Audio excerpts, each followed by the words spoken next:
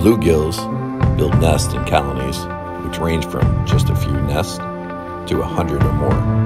The colonies are located in shallow water with a gravel sand or hard mud bottom. The males use their tail to sweep a circular area up to a foot in diameter and two to six inches deep. These are males hoping to attract a female. And protect the eggs until they're hatched.